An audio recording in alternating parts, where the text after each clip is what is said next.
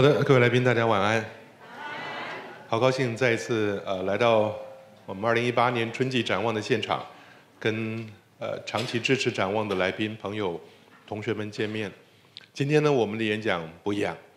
当然，我们每一系列的八场演讲都有一个固定主轴，而八场的邀请都环绕着这个主轴发展。但今天我们特别高兴，请到了来自 NASA headquarter 的太空任务学家李杰信李博士到场。我们欢迎李博士。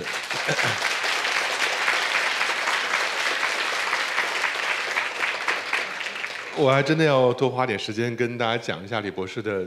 这个相关的学经历哈。那现在在总部的太空任务学家，那当然在过去已经有很多这样经历，但看一下台湾大学物理学士。各位来宾，你知道我们在这一系列演讲开始的时候，你记得我跟陈培生老师。心情上非常痛苦嘛？为什么？因为我们介绍个讲者，然后这个讲者也是我们的学弟，在演讲之前吃饭的时候一问，啊，好高兴，学弟啊，哪一年的？一九九零年毕业。算了算了，不问了不问。后来发觉还有更年轻的，还记不记得更年轻的学弟？可是呢，我觉得我们的学长非常令人敬佩，所以李杰信博士呢，比我们要稍微大几届。大几届我就不多说了啊，稍微大几届。但是呢，李博士他在过去这一路走过来的经历，看 MIT，然后到 UCLA，我觉得很高兴。我自己也是 UCLA 毕业的，所以呢，跟李博士是在同样学校 UCLA 这个母校毕业的。但是李博士在 NASA 资历是如此的深厚，你可以看下一个，他的得到的奖项是相当相当丰富的，杰出服务奖、杰出成就奖。因斯努比，人家可以讲一讲这个奖是怎么回事啊？因为通常大家的习惯，尤其是我们华人比较不好意思讲自己的丰功伟绩。可是我是觉得，李博士如果能介绍一下，像这个奖看起来很特别的，那各种还有通俗写作奖，也就是李博士最近这些年花了好多时间做科普写作，那书简直是不得了。你看台南一中杰出校友奖、金鼎奖，我们再看下一页是关于李博士的书。从追寻蓝色星球，我们是火星人，哇！我觉得每一本书都是一场演讲，可能 more than that 不只是一场演讲。别让地球再挨撞，天外天，宇宙的颤抖。我刚刚一路拿过来的就是我手上自己有本宇宙的颤抖。那 近水楼台先请李博士呢再写一个给学弟的话，所以特别高兴。那但是今天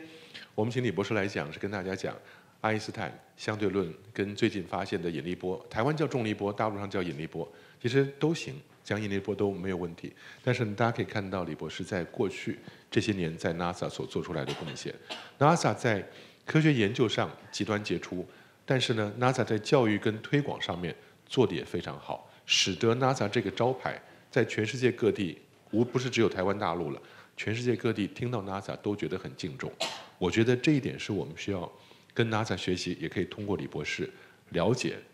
怎么样把科研教育跟推广。三者并重，做出一个世界级的机构来。当然，这一次为什么我特别高兴？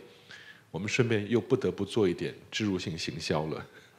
六月底，科博馆呢会有一个年度大展。今年的年度大展，我自己这个馆长不务正业，我自己策展。漫步太阳系，名字就叫漫步太阳系。我底下讲这些话，李博士一定非常清楚。就是过去二三十年，人类对太阳系各个行星、各个卫星的探索。得到的成果丰富的不得了，不仅是科学研究上有一大堆精彩的成果，连拍回来的图像，有些真的很像是梵谷的画作，或者是艺术的不得了，美的不得了。而这些知识，你知道吗？并没有体系化的进入我们的教科书里面，所以绝大多数的民众都不知道。我看了着急，干脆就自己搞个展。那这个从今年的六月底开始，一路下半年都是在科博馆的主要年度大展。可是。既然讲到了太阳系，漫步太阳系，总要有太阳吧？NASA 最近这几年有一个卫星叫做 SDO 的，非常厉害，它就在地球轨道上头看着太阳，每十二秒钟 （every twelve seconds），每十二秒钟取大概十幅、十几幅紫外线的影像，每十二秒钟拍十几幅影像。但是呢，NASA 的同仁们竟然能够把它做成四 K。甚至是八 K 的影像，那我们就希望大家能够仔细看到太阳八 K 的影像，刚好好些事情正面的碰在一起。台达电郑崇华董事长，我们非常尊敬的老先生长者，他这次还是支援博物馆，说八 K 投影机，各位，你要准备一台八 K 投影机加它的播放器，摆在博物馆做展览，光这一件事情就是两千万，就是两它的价值市价是两千万，更不用说台达电的八 K 被日本人拿去跟 Sony 跟 Panasonic 的比较，发现台达电的超越了日本人的八 K，世界第一。所以这次我们有世界第一的八 K，然后有 NASA SDO 最新的影像，而且 NASA 的影像处理的这些工程师们专门为了我们这个展览做了两段三分钟的影片。两段三分钟的八 K 影片，你知道它多大吗？不是不是 megabyte，不是 gigabyte，是二点五 T。两段三分钟影片，二点五 T，你可以想象，一分钟需要花他们的整个团队十几个小时去处理的。要专门为了我们做，而且帮他们配乐的德国音乐家也跟我联系上了，说不收钱，免费音乐提供台湾使用，只要把他的名字写出来就好了，是好高兴。可是你知道这背后促成这件事情终于顺利完成的就是李博士。李博士在 NASA 以他的高度交代了 NASA 说，哎，要帮台湾这个忙，所以我们跟 NASA 联络了以后，李博士在旁边能够这么一推一促一促成。我们就能拿到这个精彩的呃资料了，而且二点五 T 的东西，各位，它不是用网络可以传得完的。你不希望传一个二点五 T 的东西，believe or not，怎么办？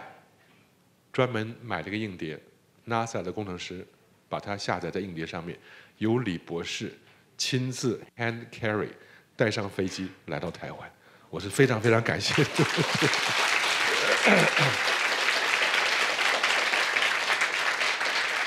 我都我都觉得好玩。本来是说李博士到了台湾，在 台大旁边，到了台台大旁边的富华呃旅馆，我去接他。然后呢，台达店的工程师过来拿了这个硬碟回去再做处理。没有想到台达工程师比我们还更急。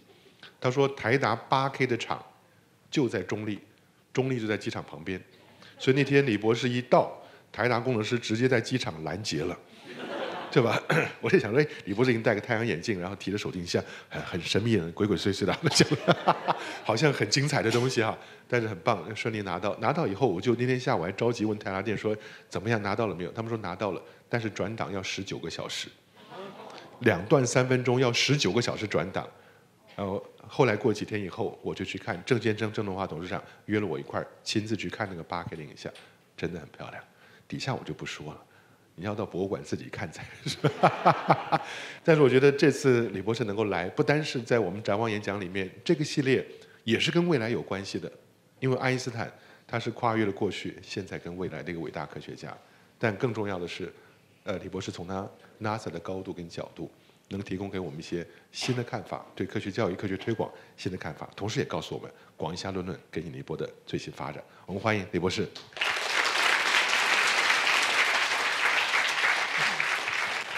啊，非常谢谢呃孙教授啊孙馆长啊孙维新馆长啊这么热情的介绍啊。当时这个八 K 的这个影片呢，我在这个整个过程中间我也学习了非常多的。到最后呢，因为我的确把它带进来之后呢，马上在机场交给这个呃台大电啊工程师呢，那么三天没有得到消息。啊，那么我就说呢，No news is a good news。所以刚才呢，孙光呢终于证实了我讲的这句话啊。那么当时这个呢，八 K 的影片呢是呃，大概没有别的方式可以看得到，除非你到科博馆，对不对？啊，这大概是唯一的。那么我我很急迫的想看八 K，所以。那个 Scott 啊，这个 Goddard，Goddard 他的这个呃工程师呢，啊，他交给我影片之后，我就说这样，Scott，你一定要让我看一看这里头到底是什么东西呀，啊，他就说你可以有个五点一个 Gig，就是比那个二点五个 Tera 要小五百倍的啊，那么我上网就把它 load 下来哈，那么看真是百看不厌，我看了二十次，每次还在看啊。那么是一个非常，所以我鼓励各位呢，哈，这个呃六月底以后有半年的时间可以到呃科博馆看。那么当时刚才孙官呢给了我很多这个呃不应该得的荣誉哈。这个其实孙馆长呢作为台湾的这个博物馆的领导人啊，那么在这中间呢哈，他是 exercise 这个 strong leadership 啊。像有些事情呢，当我们年年纪越大呢，我们说做事情这样做。我有一个很高的目标，但是我不知道达得到达不到，对不对？但是你一定要说，要跟人家要这个影片，这是最重要的啊！你一要这个影片呢，这到 NASA 其实考虑是这个样子啊，这个这个美国跟台湾没有邦交啊，这个怎么办呢？后来一想没有关系啊，绿灯一开，东西就到手了啊。那么这个是。呃，比较重要，这是完全是孙馆长的 strong leadership。那孙馆长呢，刚才说啊，要我这个讲讲我个个人的这个成长的经历啊，哈。当时我是在中国大陆出生的哈。那么现在呢，在我工作的呃呃这个呃环境呢，呃，跟我一些朋友呢，每天还这个蹦蹦跳跳的哈。那么大概我的年龄永远是最大的。啊，比较很难找到比我年龄小一点的哈。那么当时我啊到了台湾开始念小学啊，小学、中学啊，中学是在这个台南一中，那么一路讲台湾话啊上来的。那么呃台湾大学啊啊台湾大学当完兵呢，去 UCLA 啊念书，念完书之后呢，当时。呃，博士学位在这个洛杉矶，在这个 aerospace 啊，就航太工业啊，它是比较发达。那么在那边工作两年之后，就到 Jet Propulsion Laboratory 啊，喷射推进实验室啊。那么在那边工作了呃十年、十一年呢，在这中间呢，也可能自己做的一些 research 啊，跟这个呃 NASA 反正都很呃合啊。这个啊，然后呢，呃，一个机会呢，这个。呃，NASA，因为 NASA 这个机构是不停的收集研究计划，然后做评审，评审完了拨款啊，经费研究经费啊，大概是做这类的工作。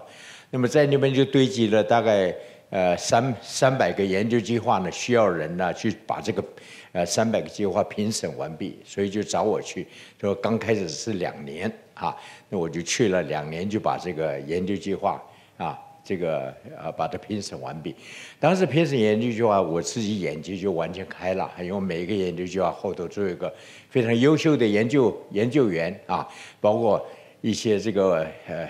现任的、未来的诺贝尔奖的哈。那么当时这种呃，对我来讲呢，就是说突然呢，由自自己很狭窄的一个一个研究领域呢，突然就呃变成这个范围非常大啊。那两年完了之后呢，他们觉得呃。呃，我还做的可以呢，就，呃，叫做，常常用一句英文，make me an offer I cannot refuse 啊，那么这样子我就啊留在总部呢，在那边一做就是三十多年啊，那么当在这中间呢，主要做的就是说，啊，啊，这个呃，主要呢就是呃，把这个研究计划升级研究计划。啊，你要送出去呢，announce announcement 啊，叫 NASA research announcement。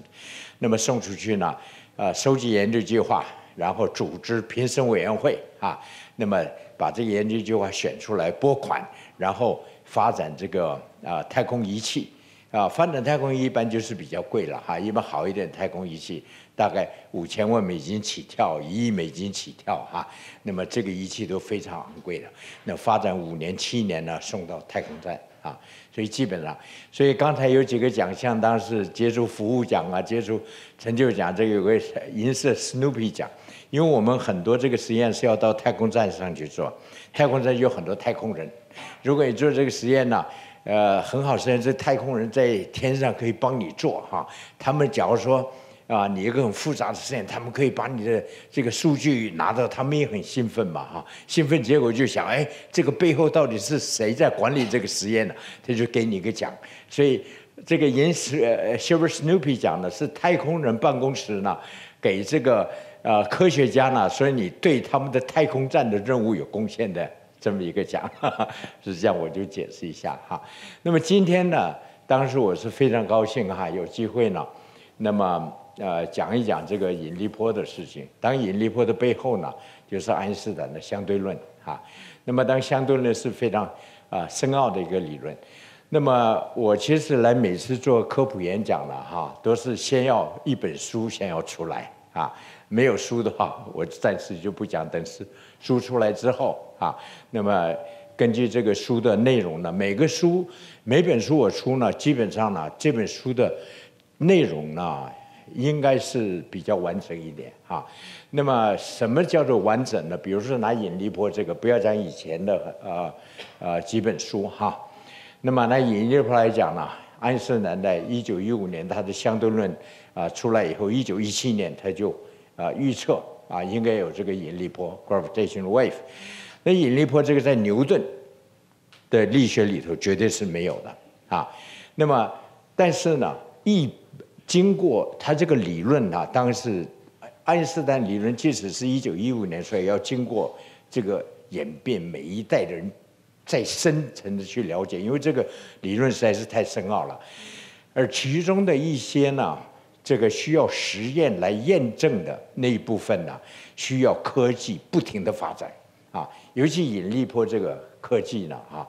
啊，从这个六零年代一定要镭射要出来以后，镭射六零年代出来以后呢，因为镭射干涉仪了啊。那么这这个出来的时候没有办法马上做上镭射干涉仪，所以说九零年代开始发展这个仪器。第一代呢，啊虽然花了这个十几年的时间把仪器发展出来，但精确度还是不够，啊，所以在第二代又升等，啊又花了十年，啊终于在二零一五年九月十四号，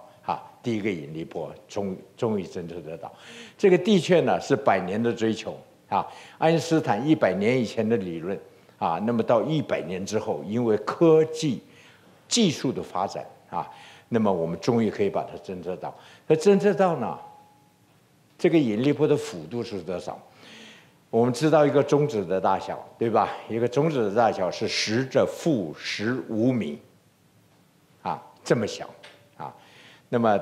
呃，大家知道 angstrom 啊，知道 nano 啊，nano 是十的负九米。啊，纳米啊，已经觉得小的，呃，不能再小，十的负十五米比它再小一百万倍了啊。而这个引力波的幅度，它的振幅，我们在地球接收到的呢，比一个中子再要小一千倍啊，千分之一。所以它侦测到是十的负十八米啊。那么要精确度要到这种，才能够把引力波侦测到。所以这个引力波变成了是一个科技先进国家的一个最强的一个科技的能力的表现啊！所以一个国家要表示出它的国力很强的话呢，一定要有引力波的天文观测站啊。那么当现在世界现现在建成两个啊。两个已经开始使用，第三个已经也也开始联网，啊，另外一个正在升等，也要开始在。目前六个呢，应该在呃二零呃二零二零完呃在两年以后，大概全部可以哈一起来啊侦测引力波啊。那么我现在就是要把这个整力整个这个引力波啊发展的历史，然后啊外加上这个后背后的理论。因为要了解引力波，一定要了解后面的这个一些爱因斯坦的理论哈。讲这个爱因斯坦相对论，当然是所谓相对论呢，二十世纪有两个物理有两个重大的理论，一个就是二零年代发展出来量子力学。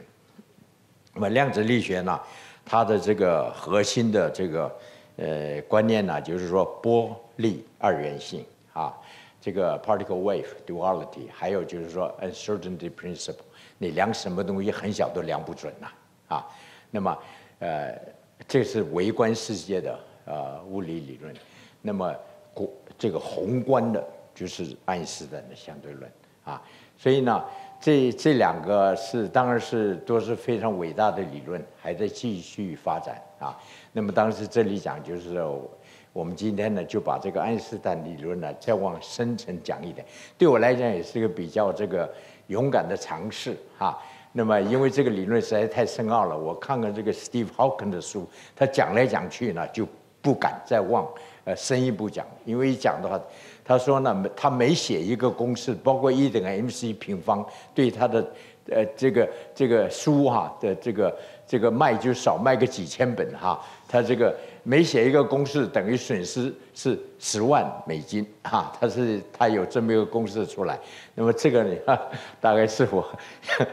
应该是完全是负的，因为里头很多公式哈，但我把很多公式呢在书里头完全放在附录二里头啊，把它集中啊，集中那么有兴趣可以往里头深深挖一下，但是呢，爱因斯坦的理论呢，它有一些啊。基础的概念，根本的概念，我是希望呢，这个，呃，这次演讲完了之后，我们这边有有钟哈，这个演讲至少大家知道爱因斯坦到底这个花了十年二十年发展这个理论，到底它的核心的困难是在什么地方，到最后他怎么解决啊？那么这次对我来讲是个很有趣儿的故事。当时呢，这个啊，一六八七年，我们知道牛顿呢，他的力学。啊，就这个，呃，出来了哈。那么牛顿力学呢，在当时哈，他是把这个把日常哈非常常见的力量，比如说苹果，他在后花园，大家讲他一个苹果砸到他头上，突然想到，哎，这个呃苹果的掉在地下的力量呢，跟这个啊地球呢吸这个月球的力，月球绕地球。呃，这这个吸引力是一样的力量，也包括地球绕太阳这个力量。所以在那么这个伟大的科学家就在那一刹那间呢，哈，他就把这个人类的科科学文明、科学的这个呃推向一个整个宇宙的一个大平台啊。那么这当然是一个呃非常非常大的一个成就啊。牛顿这个理论呢，啊，虽然现在跟爱因斯坦比起来哈。它是一个很粗糙的一个呃低级的哈呃粗糙的一些理论，但是呢，它即使到目前，因为我们现在生存的三维空间呐，速度都非常非常低哈，所以我们现在送卫星上天呐，送什么还是利用牛顿的这个力学哈，牛顿力学到目前还是人类使用的黄金标准啊，但是如果在这个引力场非常大的一个环境，在速度非常高，至少我们可以想象，因为宇宙间有很多这个啊很多粒子啊星啊这个呃星系的这个运动哈，这个有的的确可以接近光速啊，比如说两个黑洞相撞，在相撞的半秒钟以前啊，就非常接近光速，引力引力场非常强，在那个时候呢，我们就需要利利用这个相对论啊，这也当然就是说。呃，比较一下呀，这个牛顿的力学很简单，有两个物质啊，它们吸引力的大小跟两个物质这个质量啊成正比，那么跟它们两个距离的平方成反比啊。那么爱因斯坦呢，他的这个理论哈，就是比这个丰富的太多，因为它是四度空间啊，每一个这个指数它是一个张量，那么一个指数都是，所以呢，牛顿只是一条公式就可以了啊。在这里呢，是四乘四十六条公式啊。牛顿需要一条公式来表达的所有的物理现象啊。那么爱因斯坦呢是十六条联立方程式啊。那么这十六条联立方程式呢，它还不是像这么简单的啊联立方程式，它其实呢是一个所谓度量，因为我们在空间呢啊，在任何空间里头。我们假如说要走路啊，什么都要有一个一把尺啊。那我们在三度空间，我们在空间各位的空间要走路，我从这边走，每一秒钟走几米，啊，那个米就是一个度量，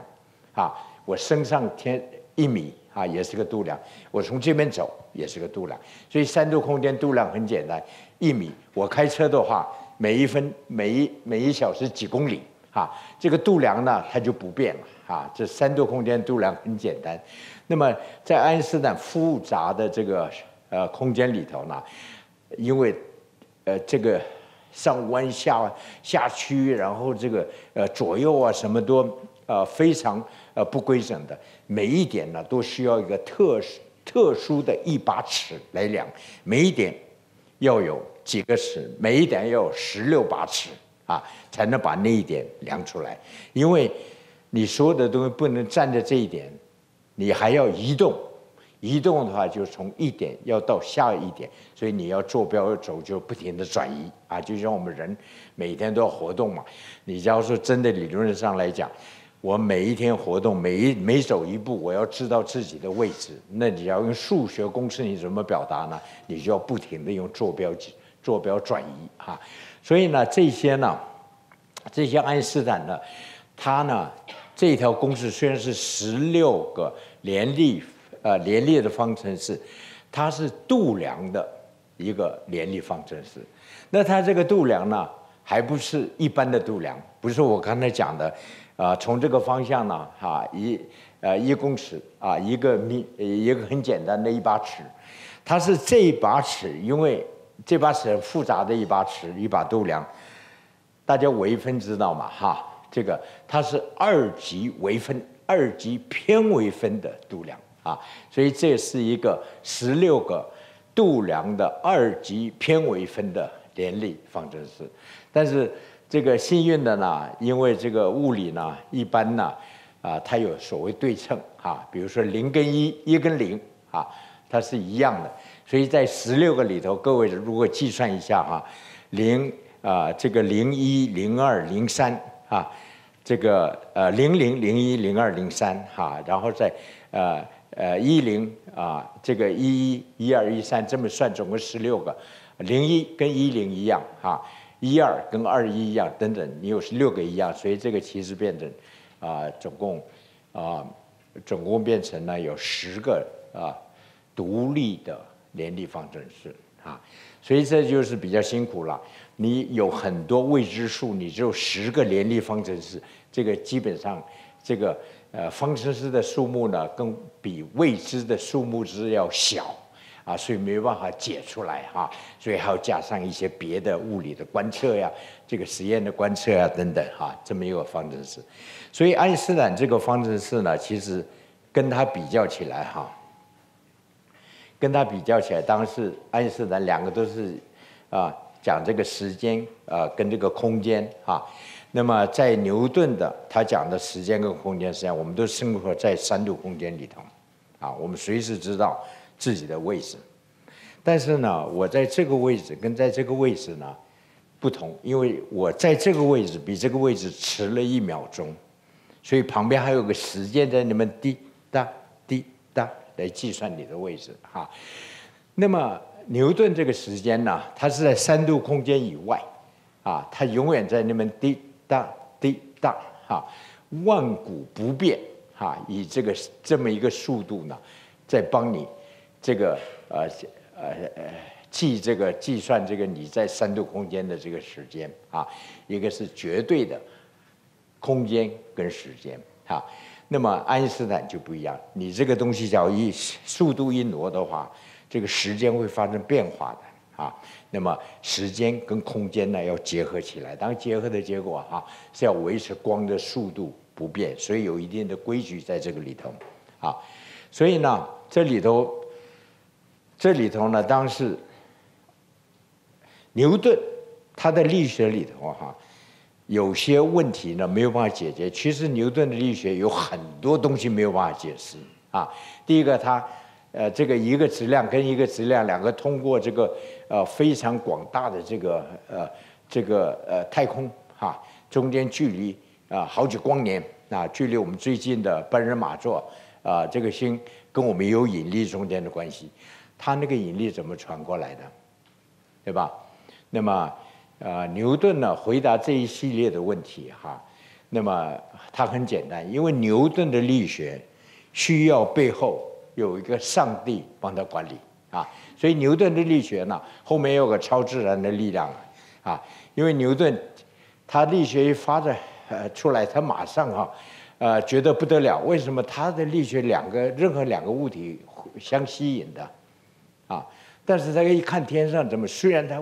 物体都相吸引的，为什么这个这个宇宙是一个静止的宇宙呢？星星相对的位置不变呢？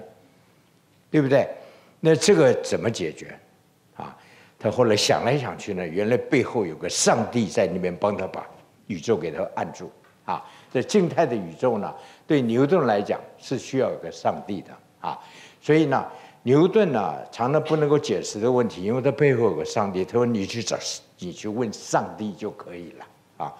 当时呢，他引力传递的速度更没有，因为他已经不知道引力如何传递。那何况引力传递的速度啊？比如说，当现在我们随便讲个问题，牛顿没有办法解答的，太阳因为某种原因消失了，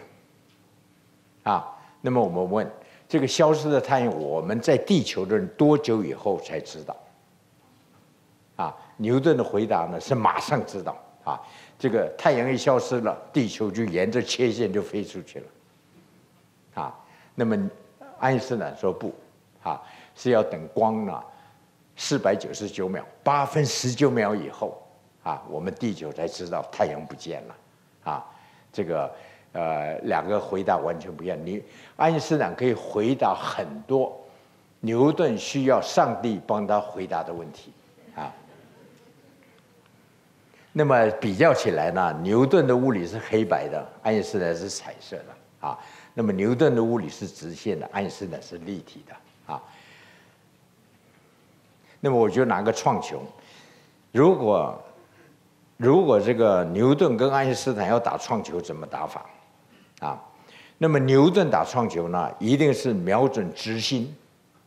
然后打在另外一个球的直心，啊，所以他的创球很简单，中啊直心这么打出去。爱因斯坦打创球呢，他也打直心，啊，那么他也打呢，因为直心打出去的球就。不转动，直接往前走啊！但爱因斯坦也可以打球的右边，一打球的右边呢，这个球虽然往前走，它开始旋转啊。爱因斯坦也可以打球的左边，往前走旋转；打球的上面啊，往前走，往前滚；打这个球的下面，往前走，往后滚啊！大家如果打打过上球都知道哈。那么尤其呢，你要说那时候我们在大学打创球，一定要打到反晒一颗星哈，一碰到的话，就那个那个球不按照物理的定律呢，这么创角是这个相等的，这创角会改变哈，那么可以把很困难的球进洞啊。那么这两种打法呢，就是爱因斯坦打这个创球哈，他的这个呃呃花样那比牛顿要多非常非常多。那么，但是在牛顿呢，跟这个爱因斯坦的时代，其实所谓都是静态的宇宙，包括我们人类的老祖宗啊，血系的人类啊，那么住在山洞里住了，呃，五万年、十万年啊，那么这个智人呢，这三十万年啊，我们就可以找找到这些智人。那么看的这个宇宙呢，基本上是个静态的宇宙。什么静态的宇宙？我今天晚上看的几颗星星，它们相对的位置。我明天晚上再来看，他们还是相对的位置啊。十年以后，一百年以后，我的下一代，我的孙子，我的这个啊，几万年以后，啊，这个星星相对的位置啊，呃，全部不动的哈。那么，当然在这里头，偶尔发现有些星星动得很快啊，特别关注这些星星，后来就把这些星星呢叫做行星啊。这行星当然是我们太阳系里头的哈。那么这个当然又是另外一个故事，但是遥远的星星，所有天上的星星啊，基本上呢都是相对不动的，这个叫静态的宇宙。什么叫静态的宇宙？哈，那么静态的宇宙呢，就是说呢，这个宇宙呢，一定是永恒的在那边，啊，在那边呢已经是大概无穷久的时间在那边，因为它已经不变化了嘛，啊，所以静态的宇宙呢。一定是一个无穷、无穷老的宇宙，一定是一个永恒的宇宙。而在这个无穷老跟永恒的宇宙的这个之下呢，所有我们看到的光都已经传遍到宇宙各地。换言之呢，光在静态的宇宙不需要时间的传播，随招随到啊。那么光呢，在这个静态的宇宙里呢？传播是不需要时间的，是无穷大的，因为它已经在那边了啊。所以呢，这个啊，牛顿的这个静态的宇宙呢，就是个永恒的宇宙，没有生日的宇宙啊。这个这个 nowhere no when，这就是呃静态的宇宙啊，没有个生日的宇宙。那么，爱因斯坦其实的宇宙呢，在这个一九一五年，他相对论发表完毕以后，基本上也是个静态的宇宙啊。这个就是在二十世纪初，人类呢对这个宇宙的理解。但是呢，这个宇宙呢，到这个十七世纪开始哈，那么人类有个重很锐利的这个工具出来，就是望远镜。那望远镜出来，就天上一看，就有很多奇怪的现象出来。那么最重要的就是对光看的这些啊东西呢，都是电磁波，都是光了哈。那么就有一些疑惑啊，就有一些迷惑。那么对光的理解。是推动人类科学文明主要的动力啊！我们对光理解多少，我们的科学文明就往前推进多少啊！所以刚开始呢，这个对光开始有迷惑了。从十人类啊，这个这个有了望远镜以后啊，它第一个迷惑呢，就是关于速度的问题。但速度问题在这个十七世纪末呢，哈，牛顿在一六八七年他的理论。出来以前，大概二三十年、三四十年啊，这方面就有个比较突破的发展。当然在这里头呢，重要就是木卫一哈，这个啊，Jupiter 啊，它的 I/O 啊，这木卫一就是 I/O 哈，这个是 I/O 这两个字哈。那么 I/O 呢是这个木星的一个一个第一个行星啊，在地球用望远镜呢，这是地球的轨道啊，地球绕日的轨道。每一秒钟三十公里啊！那当时这个，呃，这个这个呃木星绕这个呃太阳的轨道，大概每一秒钟十公里、十一公里左右哈。因因为它距离比较遥远呢，在这一个图里的，我们假设它是静止的哈，就是地球在这边走。那么现在呢，如果这个你这个卫星在这边这个呃转绕这个呃。呃，这个木星的话呢，它一定有一定的周期，就好像月亮绕绕地球一样啊。每这个二十八天啊，一个一个周期，你仔细量的话，它每个周期都是很固定的哈，很固定，时间不变的哈。但是我们用地球呢这么观测这个木星呢，这么一个周期呢，如果我们从这边开始观测的话呢，每次量它的周期呢，它的时间越来越短。从这边量，它时间越来越短；从这边过去以后呢，呃，再回来看它的周期越来越长，啊，为什么这个呃这个呃木星的卫星哈，这个木卫一它的时间周期会一下变长一下变短？但是 Romer 哈 Romer，他到最后他就结论了哈，原来光的传播需要时间，啊，因为在这里呢，啊，你从这边接近木星的时候。你先量它，在这边，然后再回到这一点的时候呢，你在这里呢，已经在这个轨道上向前走了哈，比较接近于这边，你省了这么多光传播的时间啊。从那边走呢，这个呃光呢拉长呃这个拉长距离，所以这个呃周期的变化啊，在这里他用这种方式就。呃，得到的数据呢，量出来光的速度应该每秒二十二万公里啊，等于近代的光呢是每秒三十万公里，在当当时呢，十七世纪啊，已经是相当了不起的成就了。第一次我们知道光的传播需要时间。第二个呢，对光的迷惑就是介质啊，这方面呢，爱因斯坦的迷惑更大啊。为什么介质呢？对对这个。呃，这光的迷惑呢？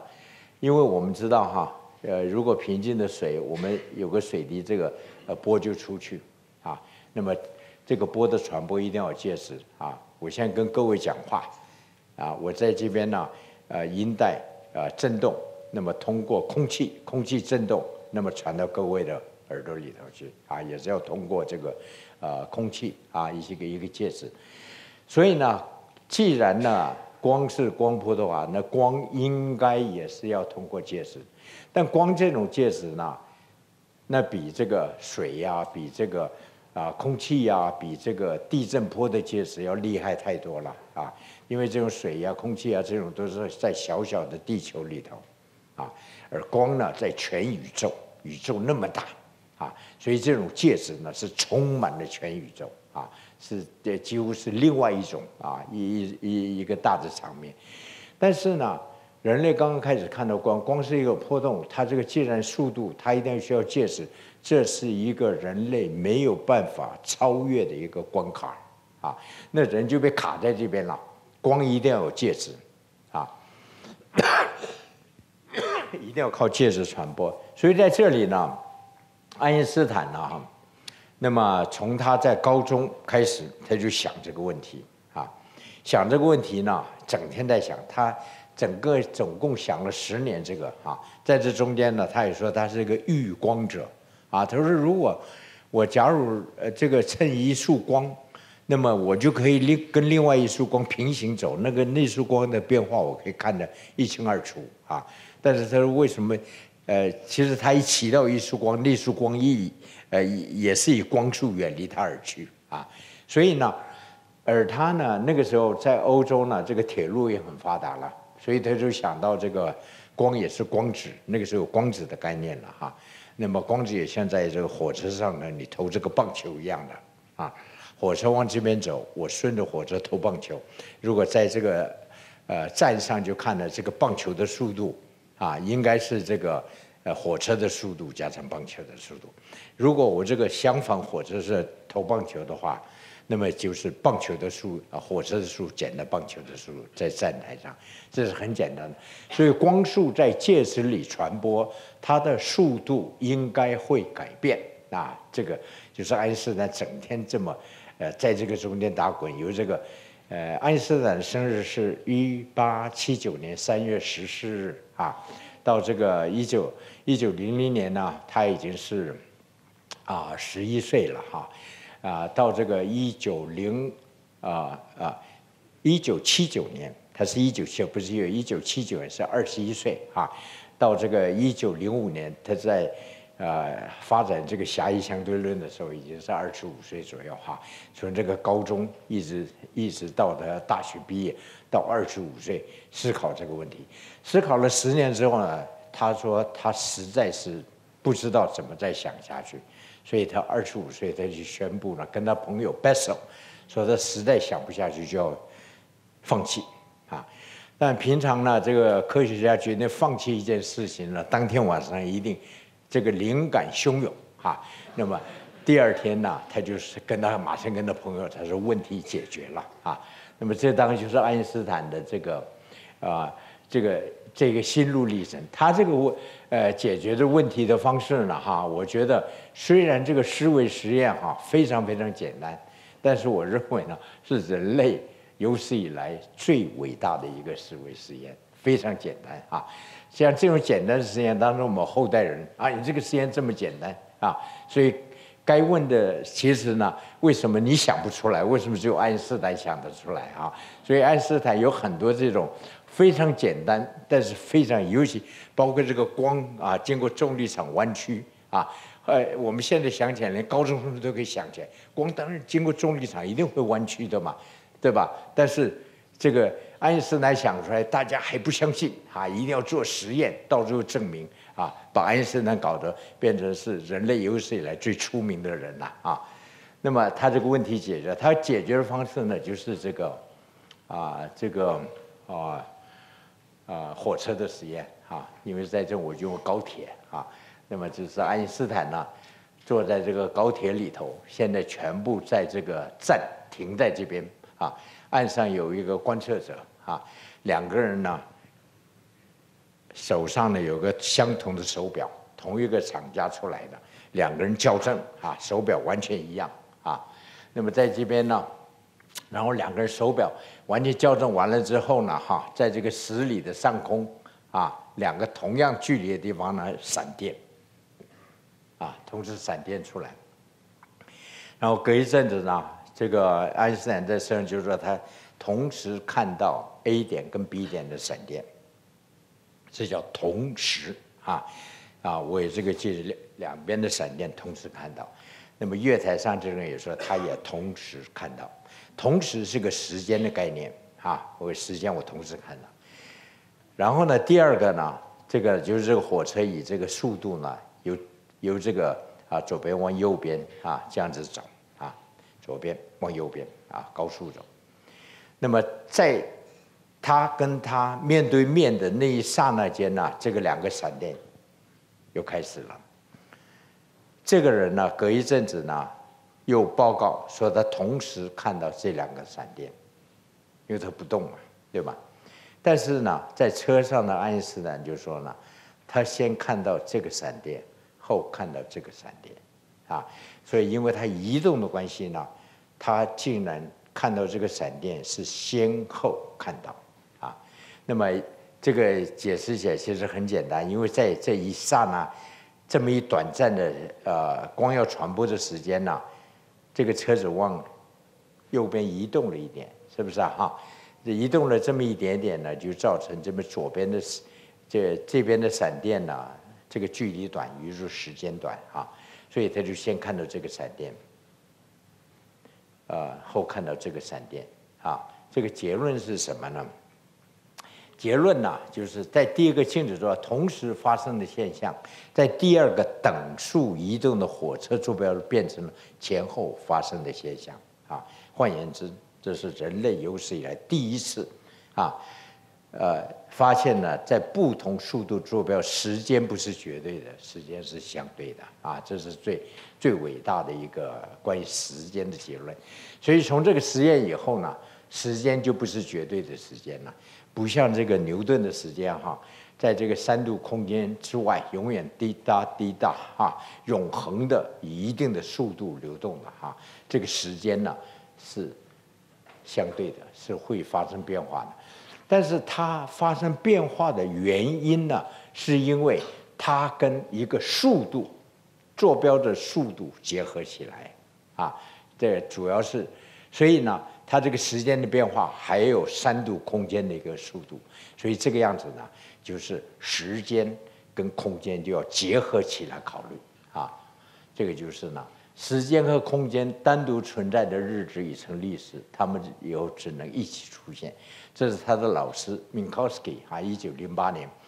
当然，这个呢，爱因斯坦这实验是一九一九这个啊零四年零五年想出来的哈。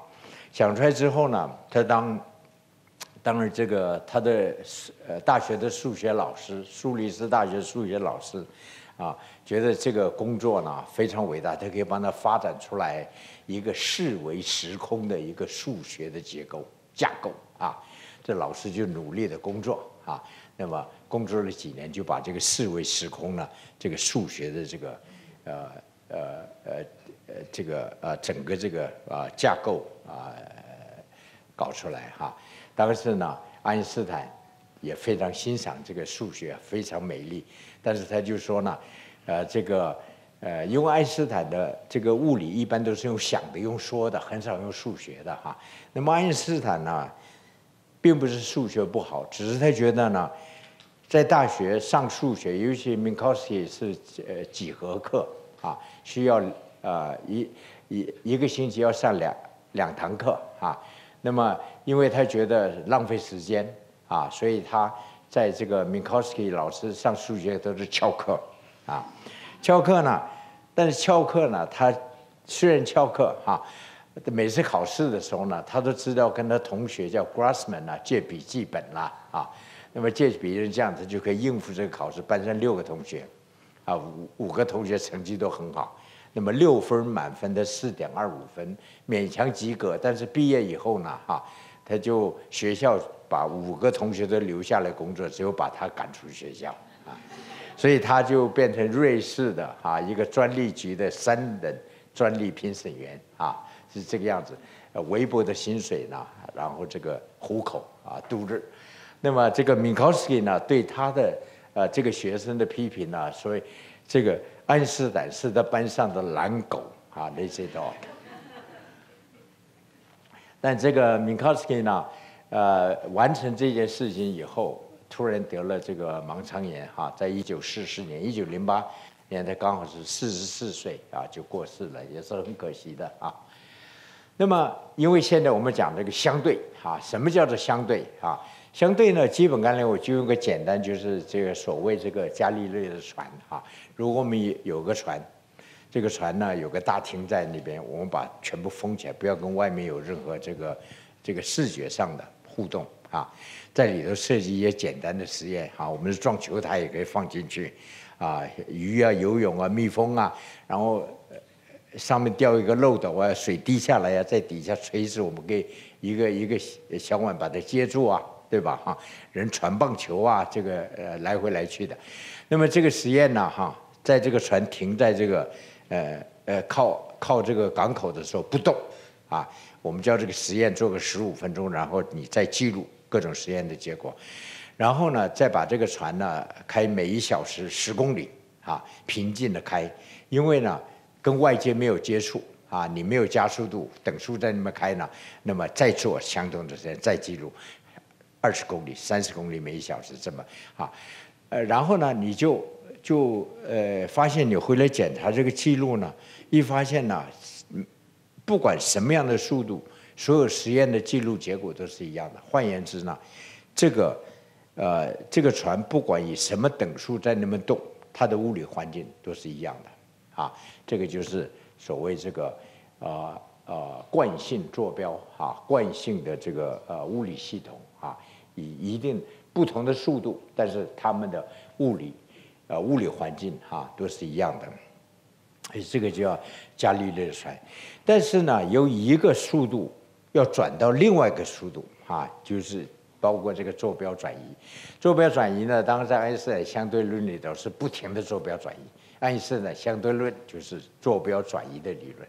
为什么需要坐标转移呢？啊？其实坐标转移哈，在我考大学的时候，那一年刚好考了坐标转移，在高中从从来没有学过的啊，这么一考呢哈，这个呃这个呃平均的分数呢啊是二十分啊，那么在这个考上台大数学系第一名状元只考了五十九分，那么这个这个坐标转移呢，虽然概念很简单，你一学就懂啊。但是呢，你不学呢，就就完全不知道是怎么一回事。情坐标转移呢，其实每一天呢，大家在生活里头每一天用啊。各位坐在那边看我，一定是用你自己的位置做标准来量我距离有多远，左边、右边啊，上边、下面。如果你现在呢开车，你自己在那边动，你一定用那个动的坐标。来看行人，来看别的车子，啊，更厉害的，你坐在高铁上头，你也是以你坐标啊，外面的刷刷过去，你还是以你自己的坐标啊。那么坐在飞机上，那速度更快，不要讲人造卫星啊，别的东西。所以呢，你如果坐在车子里，我坐在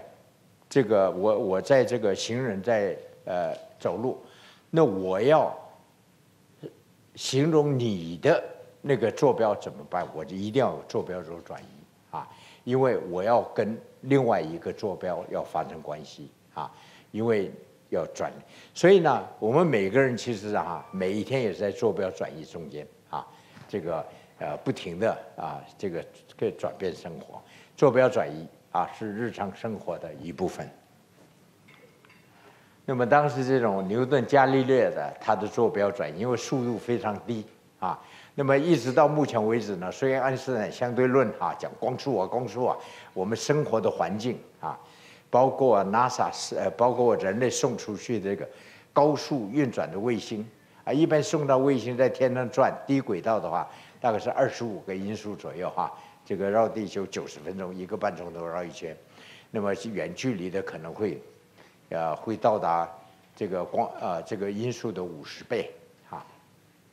那么送去是最快的一个，可能到达音速的两百倍啊，呃，你比如说这个航海号啊，呃，走了三十呃三十五年啊，那么到现在呢，走了三十五年，才走了光大概走二十个小时啊，所以人的速度呢，呃，发发明这个物体啊，飞行器啊，速度非常非常慢啊，所以一般呢。一即使到目前用这个坐标转移呢都没有问题哈，一个一个坐标在这里，它以速度往前走哈，那么另另外一个坐标来量啊，那么就是这两个坐标很容易很容易看啊，但是呢，用爱因斯坦我们刚才讲的哈这种方式，如果速度很高的话，它的坐标就发生变化。比如说啊，这个如果这个速度呢如果很低的话，像这个速度很低的话，这个跟一比是不是等于很小啊？因为这个呃光速的平方除上这个速度，这个是很小的，所以这个就就等于一了啊。这个等个等个一呢，那么这个公式就跟这个公式一样。所以低速度呢，这个牛顿、爱因斯坦坐标准完全没有问题哈。那么这个时间呢，就是我们讲时空啊，这个转移这边发生变化呢，那么在爱因斯坦的另外一方面呢，时空结合的时间呢，你看啊，如果这个速度很低的话，这个又是等于一啊，那么它的这个时间的变化，这个速度跟这个比又是很小。两个坐标的时间还是一样的，就等于这个样子啊。所以速度高跟速度低，我们讲的相对速度，它的坐标转移的方式就不一样啊。当然，这种坐标呃转移呢，在这个啊牛顿的这个啊，在这个爱因斯坦力学里头，这个哈，我讲这个拍呢啊啊这个圆周率啊，圆周率呢是我们平面几何里头很重要的一个常数啊。那么什么叫做平面几何？平面几何呢，就是你画个三角，三角形的内角一百八十度，啊，然后你画个直角三角形，直角三角形一边的平方加上另外一个平方等于斜边的平方，啊，毕氏定理。还有重要的呢，它就是，呃，这个圆周率哈是这个固定的啊，三点一四一五九一呃三点一四啊一五九。啊，一一五八啊啊二六五三五八等等等等哈，呃，当然是呢，我有一次演讲问一个同学，他不不不给给背出来三十个位数啊，那么这个呃电脑呢，目前人类的电脑已经计算到十万亿位数啊，当然这个电脑你一直计计算圆周率干什么啊？但是这是人类科学文明的一个一个里程碑了啊！如果我们突然有一天接到一个这个呃从外太空来的讯息呢，他告诉你我们的圆周率已经已经算到一一一一一一亿位数，我们就知道他的文明比我们进步非常多啊！这个就是，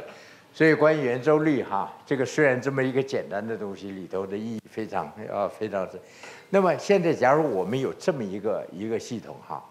啊，这么一个圆的这个方向呢不动啊，我们讲这个半径啊不动，那我们有这个有个尺标，我们知道什么东西我们都要个尺标嘛，从这一公分到六公分有这么长啊，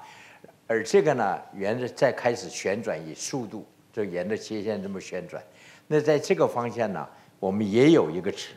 啊，因为按照按。哎，这个劳伦斯呢，爱因斯坦这种坐标转移哈，那么这个尺应该缩小，比较缩短。我们有这么一个圆周，我们以为是用同样的尺在量，但是这边尺它其实是缩短了，以较短的尺来量这个圆周，量出来这个圆周哈，它的一定用这个尺做单位一定比较多嘛，因为它比较短，啊。那么这个圆周除以二，这个圆周率就比我们知道的三点一四一五九要要大很多啊。所以呢，这个呃，即使这么一个简单的哈，爱因斯坦的狭义相对论一出来啊，它这个劳伦斯坐标转移转移，连这个圆周率都改变了啊。所以这个劳伦斯坐标转移哈，这个啊，因为比较重要一点呢，我还要提一个很比较。比较重要的概念哈，那我们以后呢，在这个广义相对论里头也不停的出现，就这种坐标转移呢，随便它转，不管你多复杂呀，这个是速度两个坐标，一个坐在一个在地上，一个在天上，飞机飞呀，什么以高速飞呀，你两个坐标要发生关系，发生转移啊，你转来转去呢，有一个重要的这个概念在这里。比如各位哈，我们每天都很，呃，希望这个体重不要增加哈，这个维持在六十公斤、五十公斤啊。那么胖了一点，马上要节食啊，把这个体重维持在呃几十公斤。这个我们每个人的质量叫静止质量啊。那么这个质量呢，我们最好维持不动啊。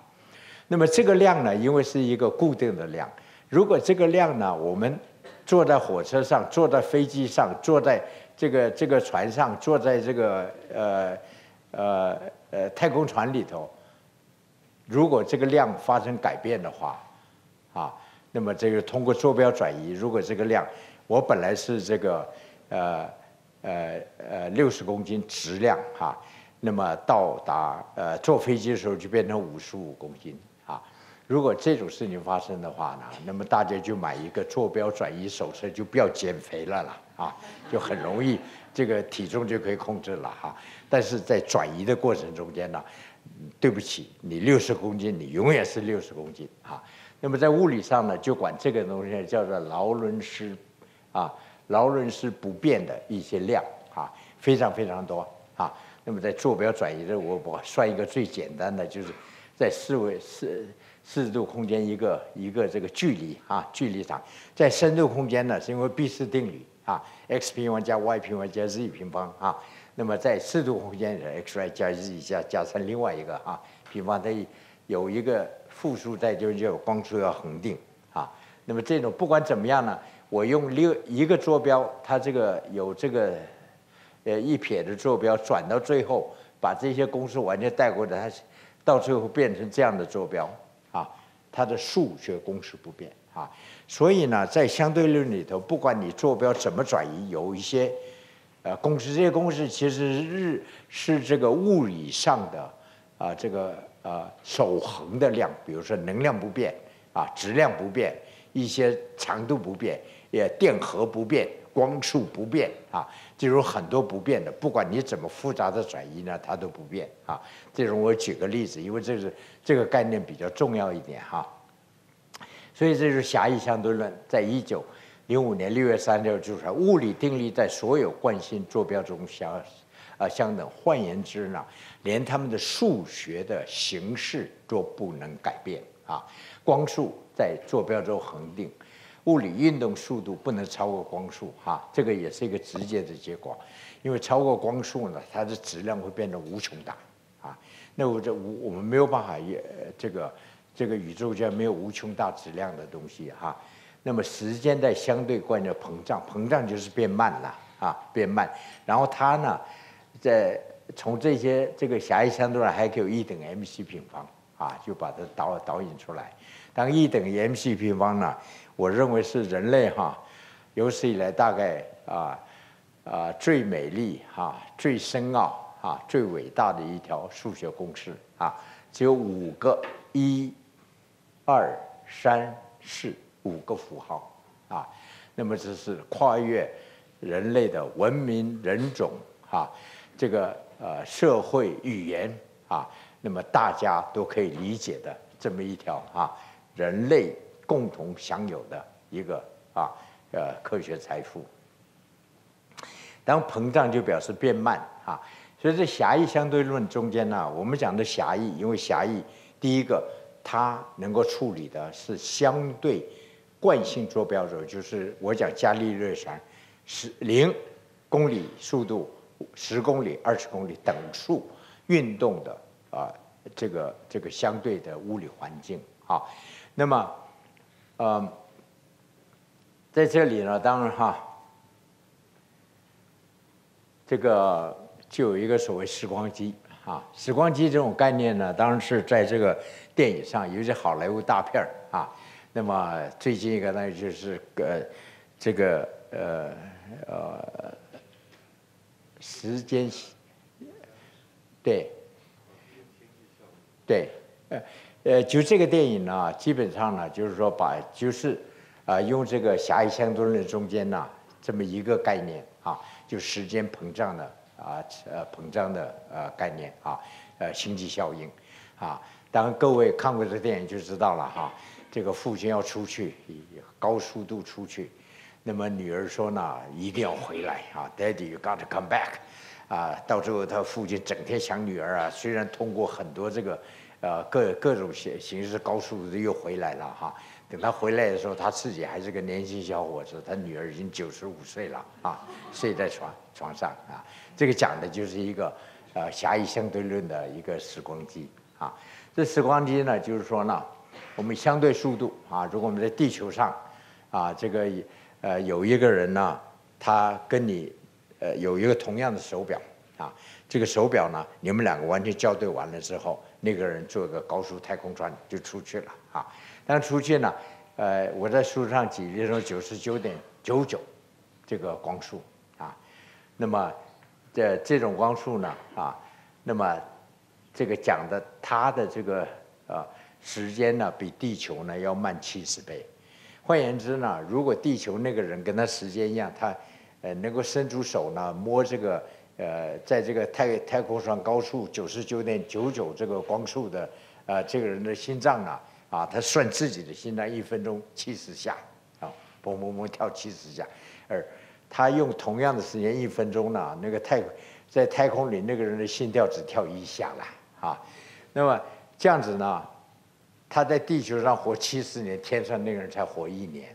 对不对哈？那么如果分开的时候是二十五岁啊，那么呃等他回来的时候，那个人增加一岁啊，由二十五岁变成二十六岁。那么在地球这个人就变成九十五岁了啊，这个这个年龄哈，就就这个差别。但是如果我们用呃这个九十九点九九九九啊这个光光速的话呢，那就可以，可以比地球的时间慢七百倍左右啊。七百倍是什么概念呢？呃，整个这个银河系呃由东到西边总共十万光年左右啊。那么换言之呢，我们从地球看起来，我们要有一个人要活了十万岁，才能够由一边旅行到另外一边，对不对哈？但是呢，我们如果以这种高速度出去呢，哈，人如果活个一百岁的话，这个人呢，可以在太空船以地球的年龄来看呢，他可以活七万岁啊。那么七万岁，这个也也也可以，这个呃，这个银河系也可以探索很多很多地方啊。所以未来呢，这个人类的星际啊，这个呃旅行呢，大概它的主要的这个呃科技还是在怎么样把这个太空船的速度增加到很高的速度。现在当时我们零点零一都到不了，我们零点零零零零一都还到不了啊，光速，因为光的速度实在是太快了。但是呢，现在当 GPS 基本上哈。因为 GPS 是靠时间来定位的哈，GPS 已经需要不停的用这种哈来这个呃做修正，要不然可以呃偏离个几公里呀、几十公里呀，横过太平洋的话，你不经过修正的话，大概也没有办法。所以呢，相对论呢，这种狭义相对论其实已经进入我们日常生活里头啊。在狭义相对，什么叫做狭义相对论？什么叫做广义相对论？啊，平常最简单的广义相对论把引力场挪掉，啊，那个理论就是狭义相对论。换言之，狭义相对论是没有引力场的这种一个理论啊。那么，怎么样在这个狭义相对论把理论加上去？这个爱因斯坦在发展狭义相对论的时候，整天批评牛顿。啊，一批评牛顿呢，批评了十几年，那一直到这个一九零七年了哈，所以他的朋友说，我在五百里以外听他每天批评牛顿，炮声隆隆哈。但是呢，到一九零七年，爱因斯坦突然发现了，他批评牛顿，批评了这么久，他连牛顿的引力场都还没有加到他的理论里头啊。所以一九零七年以后，这个爱因斯坦就很就就很不快乐，因为他要把这个。引力要加到狭义相对论里头哈，那么这个当然就是说加把引力场要加到狭义相对论，这么他要挣扎了七年到八年的时间啊，在这中间呢，他有一个数学懒狗啊，他要把数学呢全部要学会啊，到时候自己要会计算啊，那么全部要靠自己，他本来要靠他的同事，他的同事数学呢。同学就 Grassman 数学不是不好了啊，数学也很好，但是呢，你数学一计算呐、前后计算不能够错，连续计算五十页的话，你要少一项错误，全盘都垮了啊！所以呢，他刚开始的那个计算呢，就，呃，我看了他那个那个那个文献哈，那么其中有一项可能就少少了一那么一项而已哈，结果他就放弃了，放弃了，又重新用他想的，因为爱因斯坦呢，他在发展的一半用想的，一到最后他是学会用算的啊。他说他的这个物理呢，全是用想的，用讲的啊。但是相对论刚好呢是要用数学来表达，所以他一定要学会这个数学，张量数学啊，还要学会呢这个呃呃这个呃微分几何啊，这个很复杂的这个呃几何呢，他要知道怎么样在里有微分，因为刚才我们讲他到最后出来的公式是二级微分的一个微分几何的这个啊。这个联立啊方程式啊，那么所以在这中间呢，他通过了非常啊痛苦的一些啊一一个过程，到最后呢，有个数学大师啊叫做 Dave Hilbert，他是在哥廷根啊哥廷根大学啊，距离他那个呃柏林也不会太远啊，一天坐火车可以来回，所以他们互相拜访。那爱因斯坦在发展这个过程中呢，他其实呢。如果有任何人问他问题，他说所谓掏心掏肺哈，从来呃不说我要留一点哈，这个不要告诉你。呃，而这个数学大师呢，他找到了爱因斯坦老师 Minkowski 呢，学了好几年物理。这数学大师很出名啊，Dave Hilbert 他有二十九个难题啊，即使到今天，任何一个数学解决了他一个难题呢，就变成马上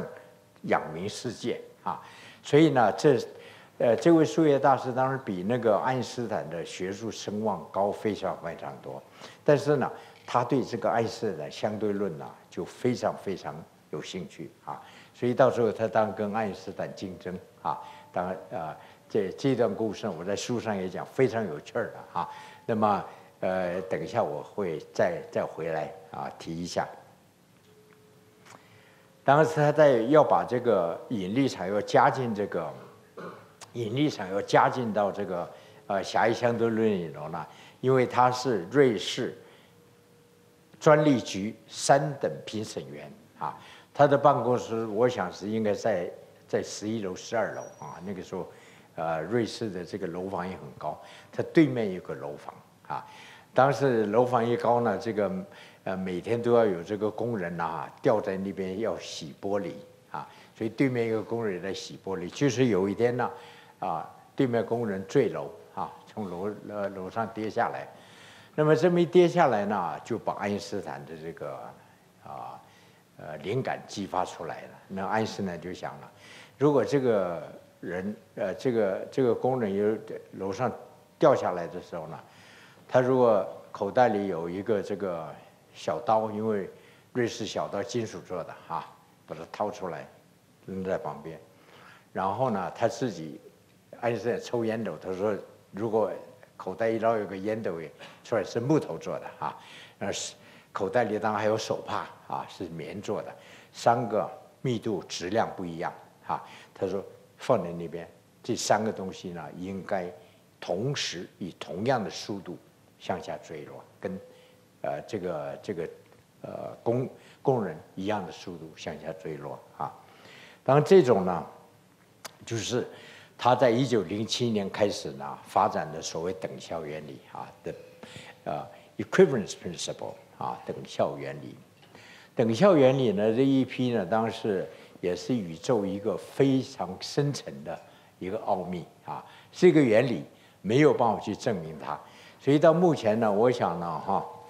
这个在太空呢，已经啊，目前我想大概已经花了哈。假如我保守估计啊，可能有十亿美金左右，还在继续呢，来这个验证等效原理到底成立不成立啊？目前已经验证到零点十三个零分之一，在这么一个十 one part in ten to fourteen 啊，那么这个啊，在这么情况之下，这种等效原理还是成立。那等效原理有两个，一般最重要有两个。我刚才讲的呢，不同密啊密度的呃，在这个重力场里呢，它以等数啊等数坠落啊，这是最平常的。当然，这个这个呢讲起来啊，连这个伽利略呢都觉得有点奇怪啊。伽利略，那么伽利略在伽利略比萨斜塔据说也做做过这种实验，拿一个这个。呃，他那个时候用炮弹哈，那么一个铁的炮弹，一个木的炮弹从上头呃这个呃呃一起叫叫它坠落，看是不是同时的掉在地上啊？那么当时他想呢，这个应该是呃铁的应该掉的比较快，对不？因为比较沉一点嘛，比较重一点哈。当时讲讲，呃，它掉地声音都比较大，当然应该比较快嘛哈。那么，但是呢，实际上应该是等速坠落。在这个阿波罗十几的时候，啊，登陆呃，在这个呃月球上也拿一个榔头跟一个羽毛，也是这样啊。这个做这个实验是同时坠啊呃呃坠到地上。另外一个这个呃等效原理有加速度等于重力场啊。加速的重重力场呢，这样各位。现在坐在椅子上头，因为被重力钉在那边，啊，被重力钉在那边，啊，不会浮在这个呃天花板上头，因为重力场的原因。现在呢，假如说我们全部啊坐在一个太空船在深太空里头，跟所有的这个重力呢完全啊非常远，我们自己呢在没有呃这个重力场的情况之下，但是呢，这个整个太空船以加速度啊。这么加速度啊，每一秒钟九点八米，这么一路加速度上去，各位做的情形跟目前情形完全一样，各位感觉不到你到底是在重力场里头，还是在一个加速度的太空船里头啊？所以这个所谓这个加速度跟重力场呢，又是一个相等的东西哈。这个叫做啊等效原理两个最重要的哈，当然等效还有一些别的东西了哈。那么。那么，啊，就是关于这个重力场哈，跟这个啊加速度的等效原理啦，啊，可以冲击到时间上的变化。那么，我就用个三十万公里的电梯，如果电梯三十万公里啊，用三十万公里光从上面到下头一秒钟了啊。那么，这个三十万公里的这个这个电梯呢，上面有个人，下面有个人，两个人又是同样的手表。啊，同样的表，两个人先开始，呃，凑在一起来校正手表，完全都一样。然后到最后就说，好，你这个上面的人呐，你每一秒钟你发出个信号啊，每一秒钟发出个信号，每一秒钟发出个信号。然后下面呢，就记录用他的表，看他什么时候。第一个信号接到，第二个信号接到，第三个信号接到，啊，两个人完全同意了。像这个电梯呢，开始以加速度，啊，那么有上也开开始进行。那么加速度开始之后呢，上面这个人呢，按照规定，每一秒钟发出个信号，滴，滴，滴，哈。那下面呢，也就开始接受这个信号。那先接受这信号呢，接受第一个。没有问题。第二个呢，就发现呢，比一秒钟要短，啊，因为在这个，呃，这一秒钟间，它又向上走了一点，就像我们的火车上那个闪电实验一样。所以呢，在下面上面一秒钟呢，你因为加速度关系，下面竟然少于一秒钟，啊，小于一秒钟。那么这个呢，就造成所谓这个，啊，时间上呢又发生变化，因为因为，呃，这个呃加速度的关系。当然，这个呢还很容易理解。那我们现在讲，因为等效原理哈，加速度等于重力场。现在我们把这个呃电梯把它挪掉，那我们就说，现在如果你有两个表，一个在这个呃呃呃引力场比较低的，一个在引力场比较高的，这两个时间会不会有变化啊？因为加速度，呃，这个呃说呢。啊，它的这个有加速度情形之下，时间会变慢啊，所以在引力场不同的引力场里头呢，时间呢也会不同。但我们现在有两种啊，这个技技巧呢来改变世界。一个就是以不同的速度啊造出时光机啊，像这个星际啊效效应一样啊。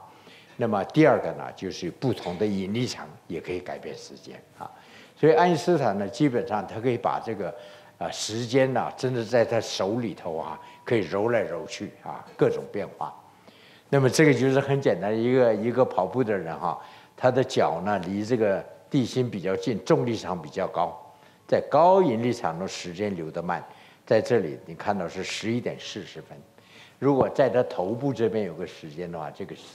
低引力上时间流得快，是十一点五十六分啊。那么这就是说，在引力场中，时间流的速度也不一样。那么现在这个等效原理当然不停的检验了，我是讲这个也是要花很多很多啊钱。然后最近的这个就去年啊十月，呃两年两年前这个卫星是法国人送上去这个卫星哈，用这个卫星检检验这个等效原理，主要呢，他把两个密度不同的啊放在。这个地球轨道上，像比萨斜塔，你顶多一百公尺。我们地球在建的多高楼？到一零一大楼，一约五百公尺了不起啊！而在地球轨道呢，我一坠落，两个东西一坠落，可以坠落好几亿公里啊，因为可以坠落一年嘛。然后看这个两个中间的有没有什么变化。那到目前为止呢，就是它坠坠落了一年以后，检查它们的变化呢，就把这个等效原理哈。是一的后面十四个零分之一啊，到这么精确度呢，等效原理还是成立啊。这是目前呢，当等效原理啊最精确的一个检验。当有些理论呢认为等效原理可能到一的十八次方啊之一可能会发生变化。那等效原理呢是人类要不停的要花钱去检验它，因为这个原理太重要了。如果这个原理呢被推翻的话，当时爱因斯坦的这个相对论基本上它的基础被推翻了，就好像这个量子力学哈，这个波粒二元性，当我们现在在实验室每天看到波粒二元性啊，这个呃呃测不准原理啊这种哈，呃或者是呢有一些原理啊，像这种我们还可以去检验，现在数学上一些原理我们都没办法检验，比如说最简单的啊。在这个平面几何，两条平行线，什么叫平行线？平行线呢，就是在无穷远在相交，啊，这个是呃，老师我们学数学就是哦，平行线无穷远在相交，那我跑到无穷远看看它相交不相交，对不对啊？但是你跑不到无穷远，也就是说它们永远不相交，啊，这就没有办法，对不对啊？因为我们不知道无穷远在哪里啊。像这种有些东西是没有法呃这个检验的哈，像这个。当月球测距啊，Lunar Laser Ranging 这个阿波罗放了这个机啊，镭射反射镜。那我们在地球，呃，跟这个月球是在太阳的重力场里头，在你们不停的坠落。那我们看它们中间的相对的速度有没有改，相对速度有没有改变啊？这是在地面上测，这个测到扭转一哈，torsion balance 啊，一乘十的大概十三次方左右啊。这个呢，这两个差不多同样的这个呃呃精确度，这个比它精确度多了十倍左右。那么现在就讲，他现在呢有这个等效原理了，他就知道呢怎么样把这个引力场啊往进一步哈，把它加到他的理论上去。他等效原理在一九七年十一月基本上他想象已经成熟了哈，然后呢他就找到他的这个啊。同窗同学，那个时候他已经，啊，这个 Grassman 哈是他在大学时候啊自己翘课跟他借笔记的 Grassman，那个时候已经在苏黎世呢做这个啊数学系的系主任。那么他在这边呢，当时在把这个引力场又放到他理论上，他说很苦啊啊。那么但是他那个时候呢，爱因斯坦已经变成很出名的欧洲很出名的一个理论物理学家。所以他的这个母校呢，就把他雇回去了啊，叫他去做教授。那么回去的第一天，马上去找 Grassman，他说：“我真苦啊，这个这个呃数学不不行啊。”他说：“我现在要把这个引力场要加到理论去啊。”当时他那个同学 Grassman 呢很同情，本来说要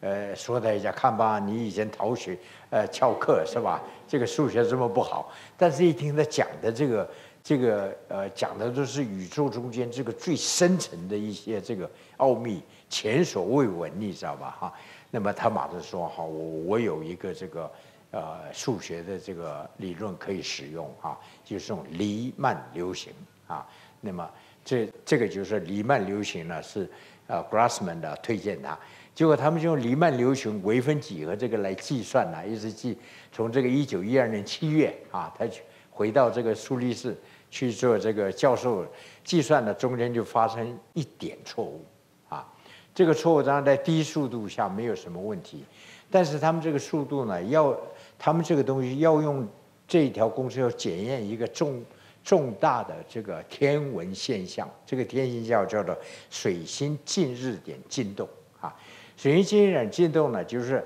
水星是距离太阳最近的一个星。那么这个轨道呢，我们可以用牛顿的力学去计算它。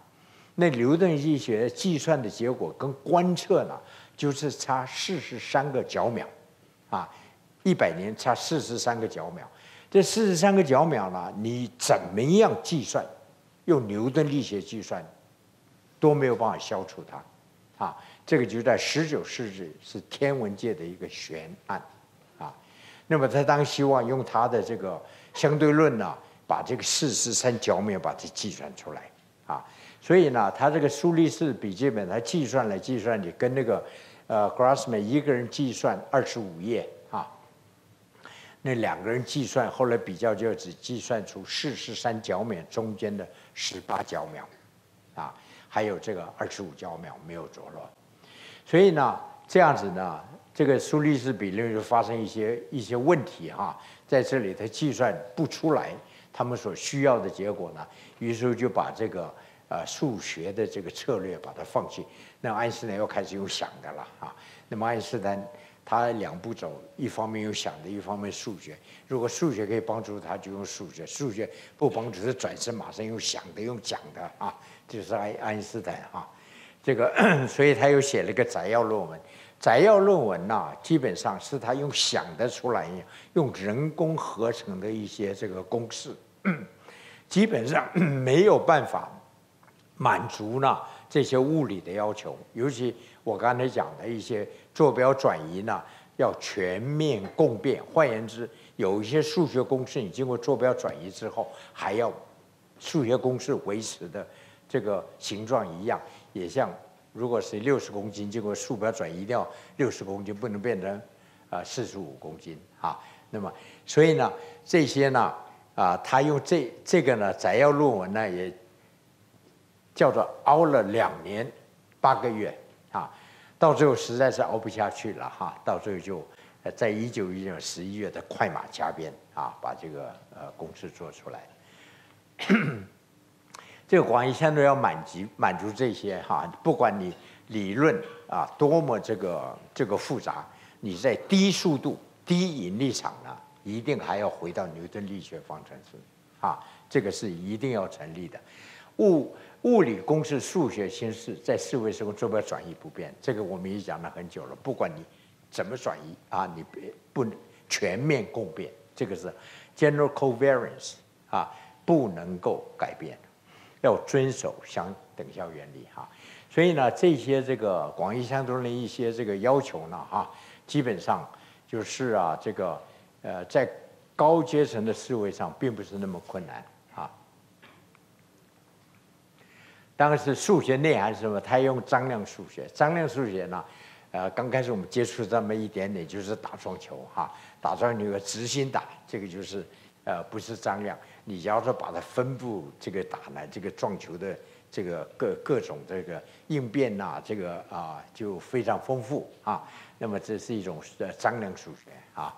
因为数学有衡量，有 scalar，有有 vector 啊，还有张量啊。它要用的呢一种几何叫黎曼几何啊，所以你一接触到这个呃相对论呢，马上黎曼几何就要出来啊，黎曼。黎曼本身他是高斯的学生啊，高斯一个很出名的数学家。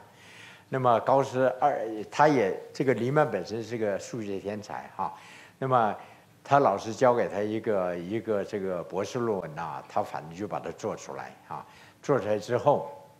这个啊，他其实找到每一点的这个这个度量啊，把这个数学搞的。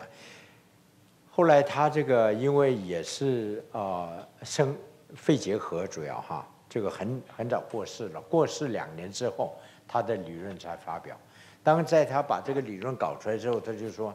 他搞出这些数学到底有什么用啊？他完全不知道啊！一直到被爱因斯坦呢当着至宝，啊，这个宝贝，当这种黎曼几何才啊，这个呃，跟跟这个相对论呐，哈，呃，这个流呃呃呃变得非常有名啊。引力呢为四维时空局部几何的曲度啊，这个就是我们刚开始问。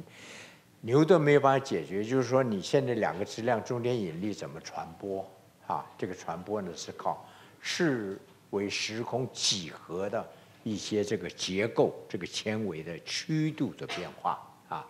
那么物理公式在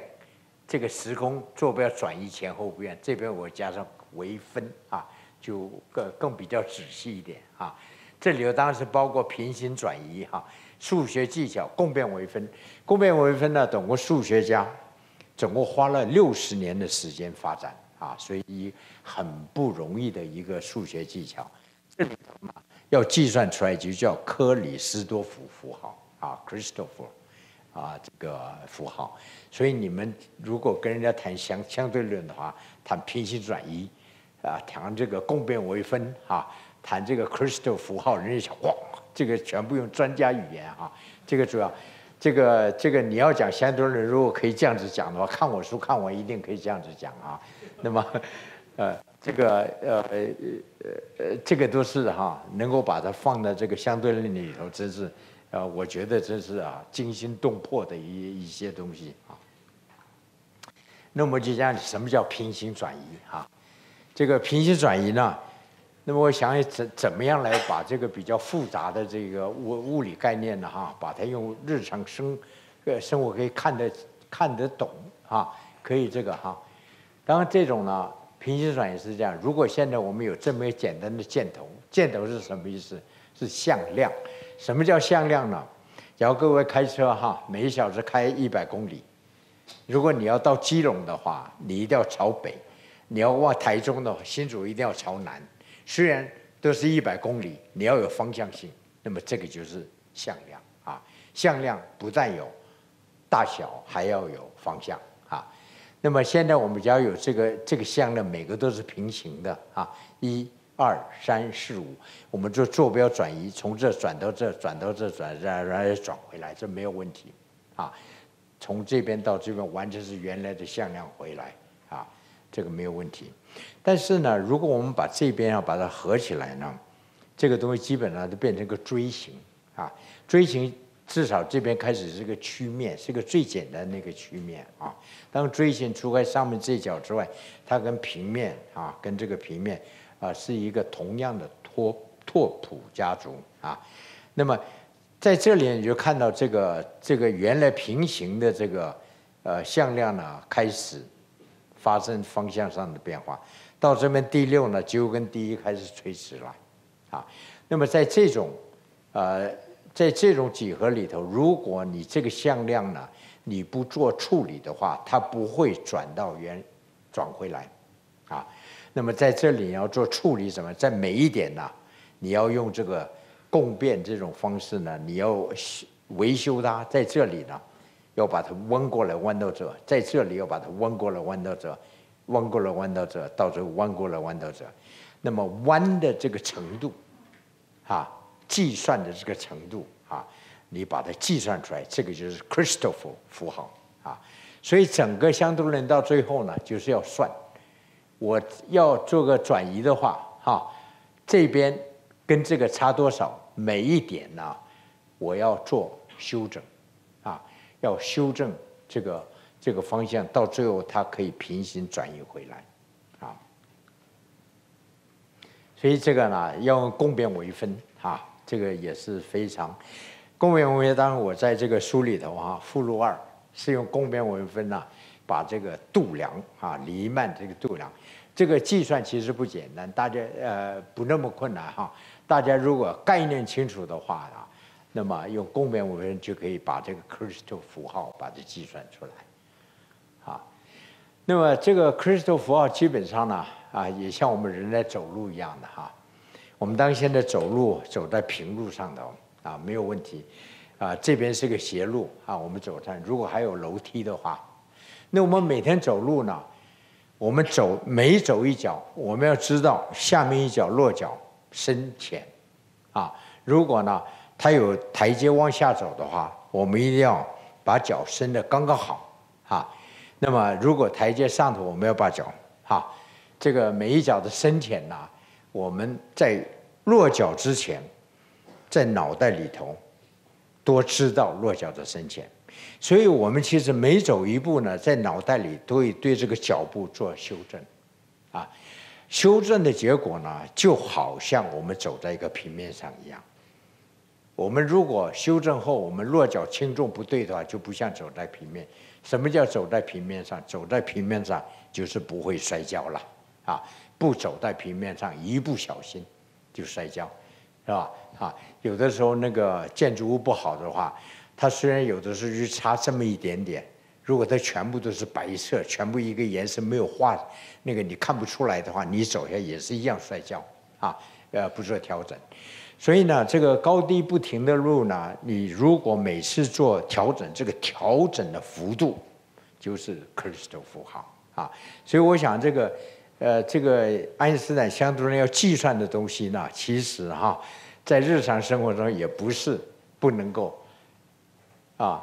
呃，去真的去理解它哈，那么也是可以呢，用只有日常生活的例子哈，啊，走路的例子，我想呢，大概这样子呢，我们也可以啊，这个对这个 crystal 符号的这个物理的意义呢，可以理解一下啊。这爱因斯坦的相对论哈，质量、能量这种哈，质量、能量主要就是说呢，爱因斯坦他要需要引力源啊，这个源呢比这个啊牛顿，牛顿的引力源只是质量，质量一、质量二，就等于呃这个啊它的十六项，爱因斯坦实际上从中间的一项而已哈，那么它总共有十六项啊，除开这个静的质量之外，还有动的，因为爱因斯坦东西一动哈，它有这个。动能出来，动能出来这部分除以 c 的平方啊，就等于质量，所以它也会有引力哈。还有一些这个啊动量方面的互互相影响，它有时空结合哈，引力局部的曲度传递，那么就大概爱因斯坦的这个呃所有的这个引力呢，都变成局部的啊一些曲度的改变，那么向下陷。呃，陷陷下去就是一些引力上的变化啊，所以就到了这个啊，一九一五年十一月哈，那么普鲁士啊科学院呢，呃每星期四开会，所以刚好在这个一九一五年十一月呢，这四场会议里头是爱因斯坦连续发表四篇论文啊，第一个星期四呢，呃落在十一月四号，然后第二个十一号。十八号、二十五号，那么他连续发表四篇论文啊。那么第一第一篇当时他要马上把 crystal 符号要计算出来，这是最重要的啊。那 crystal 计算出来如果是对的话呢，那么可以用它呢就可以开展以后的计算啊。当他在这里计算呢，这个 crystal 计算在这中间呢，他其实呢跟这个那个数学大师叫做 Dave Hilbert 啊。跟他也是很紧密的联络，他说在这中间他还有一点哈，也被卡住啊，所以希望这个数学大师呢帮忙他，啊，那数学大师就是说对不起我，说你赶快到哥廷根来哈，坐这个火车，当那时候还没有高铁啊，但是坐这个火车大概几个小时可以到，当天可以来回啊，但是他说他胃有点痛啊，什么很紧张，他就没有去。其实呢，这个。在这个哥廷根啊，当哥廷根跟大学附近当初呃有这么一个街头上流传的东西哈，因为爱因斯坦常常去请教数学啊，那么大概就有人在那边传这个呃传话，这边说哈，在这个呃 g e r t i n g e n 啊，呃大学附近的这些哈这些居民呢，连七岁的小孩子的数学能力都比爱因斯坦强啊，这个，所以呢，他在十十一月十一日、十六日中间就接到这个 Huber 呢明信片寄来的场方程纠正版啊，这纠正版呢。爱因斯坦马上回明信给给他，就是哇，你这个公式跟我的公式导演出来完全一样啊，这个哈，他说完全一样，coincide 啊，那么这是啊有记录的哈，那么所以呢，至少以爱因斯坦的这个呃这个呃看法呢，他导演出来对的公式。和爱因斯坦导演出来是一样的，哈，但是有些数学家不这么看法，哈，数学家认为呢，啊，是这个 Dave Huber 第一个把这个公式导演出来的，啊，因为这个这里头用的数学很复杂，这个数学大师的功力比爱因斯坦强非常多，所以在这里呢，我是想呢，在十一月，啊，十一月十一号呢。到十六号中间呢，可能爱因斯坦已经这个场方程已经完成了，啊，经过啊啊八年啊，终于把它呃完成是全面共变微分的，在黎曼流行里的度量的二度微分的哈，满足所有物理守恒定律的一个方程式，啊，那么当时为什么他在不马上发表哈？他在十月十八号呢？他接到这个时候，他马上计计算水星近日点进动这个四十三角秒的数字啊。那么当时水星近近日点进动呢，这个水星是离太阳最近的啊。它每次转一圈之后呢，它不回到原点。你看在这里哈，第一圈这样转，第二圈它就变成这个样子转啊。第三圈，第四天啊。它每一百年呢，它的这个发生的变动呢是五百七十四角秒啊，那么啊能够用牛顿力学算出来的大概就是五百三十一角秒，剩下四十三角秒没有着落啊。那么这个就是说，在十九世纪是个天文界这个有实际观测出来的一个悬案。啊，没有办法解决，所以这里当然就是，啊，爱因斯坦呢要赶快呢，啊，他先把这个这一部分的计算呢，大概没有任何人可以比爱因斯坦计算的快啊。大概爱因斯坦因为他不停的计算，由这个一九零七年、零八年哈，有公式一出来，他就计算这个计算，希望计算到四十三角秒，所以他这个整个过程，这个公式虽然需要二十五页哈，他。呃，可以计算的很快，这是爱因斯坦的功力啊！全世界没有一个人可以比得上他。所以，当然他一把这个火星近日点这个四十三焦米一计算出来的话，呃，看这个爱因斯坦的专利，这是爱因斯坦发展相对论哈，大概整个过程中间最大的情绪的激动啊！这个，他说好像心脏都要跳出来了哈。他计算完了这个四十三角秒呢，这个数字一出来呢，他当就知道他这个方程式是对的，啊，这是一个最直接的证明他的方程式完全完全正确啊，所以他等到下一次这个开会的时候，二十五号发表满足全面公变在爱因斯坦方程式，所以从爱因斯坦的角度呢，这个记录上呢是一九一五年十一月二十五号。但是在这中间呢，十一月十八号到十一月二十号呢，我们这位 Dave Huber 先生呢，因为他也掌握到这个纠正版，他也有这个方程式嘛，所以他在十一月二十号他先发表了，啊，所以在这中间呢，到目前还是一个悬案。但是呢，因为 Huber 呢，他的学术的声望比爱因斯坦，因为 Huber 是世界级的。爱因斯坦那个时候只是欧洲级的啊，所以到最后，爱因斯坦跟他来回，爱因斯坦跟他说：“你你在这边哈，说你得到这个场方程了哈，你是用非常小人的技术啊抢过去的啊，他用的是 n u s t r i f y 这个字哈。那么，呃，当这个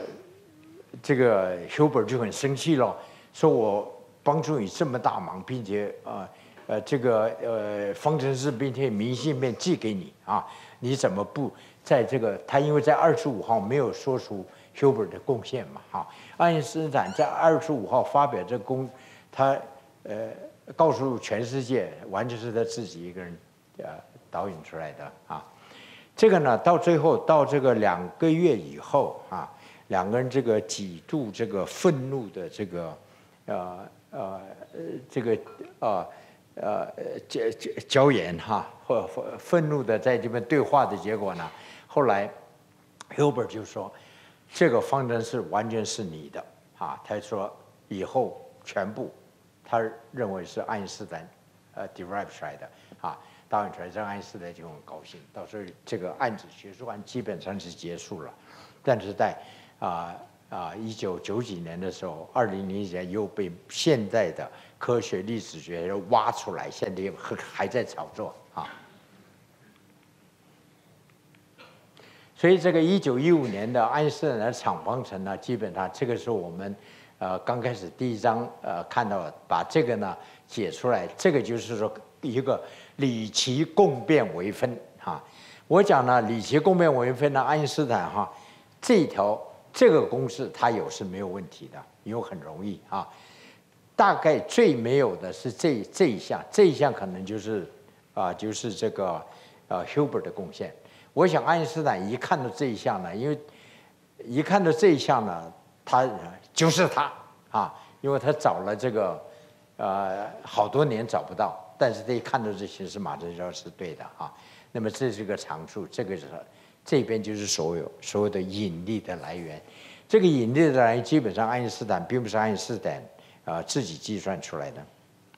所以这一部分呢是爱因斯坦使用别别人的哈，所以出来。但一九一五年出来，他就觉得。少了一样东西，为什么少一样东西呢？因为他的宇宙观跟这个牛顿宇宙是静态的宇宙，啊，因为爱因斯坦这方程是动来动去的，哈，所有东西在那边动，像牛顿一样，所以他又加了一个宇宙常数，啊，这一九一七年啊，加了个宇宙，把这个，把这个他的这个啊呃宇宙呢，把它按住，变成静态的，啊，然后到这个一九日全食当时很重要哈，把它这个。光的弯曲这个实验哈，啊，经过六个月数数据分析呢，那么，呃，证实了它一点七度的这个光的弯曲呢，它就变成这个人类有些最出名的人了啊，也不是科学家是，然后他的儿子当时就问他，他为什么这么出名啊？他说我是第一个说这个小甲虫是在曲面上爬的人啊，他是这这么讲的，啊，但是呢，到了这个。一九二九年，啊，膨胀的宇宙，哈勃，啊，所以宇宙是膨胀的。膨胀的宇宙表示平，呃，宇宙不是静止的，宇宙不需要宇宙常数，啊，所以他在这个一九二九年呢，他就把这个，呃，这个伽马又挪掉了，啊，并且说他一生最大的失误，啊，那么这个呃，孙馆长这个孙教授用半笔，啊，我觉得两个字都非常好，啊，那么。这就是一九二九年的场方程啊，那么这个一直到爱因斯坦过世都是用这个场方程。一九五五年过世哈，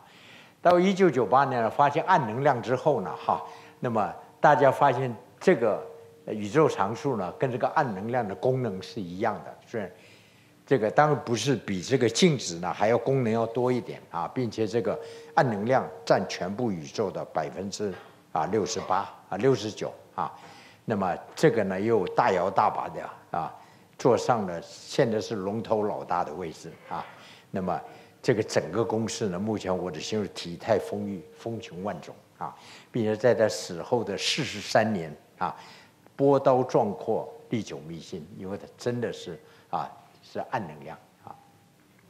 当时检验广义相对论哈，目前这个。理论呢是不停的检验哈，它精确度越来越精确，啊，越来呃这个到十的呃负五次方啊，就十万分之一还是精确。卡西尼啊，通过这个月球，还有这个最近